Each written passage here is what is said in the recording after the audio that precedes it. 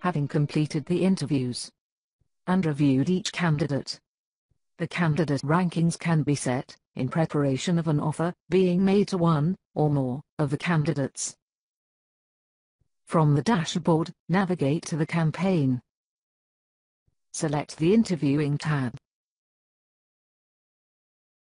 Ensure that campaign or the role are selected and that the candidate's menu option is selected. Click on Set Rankings.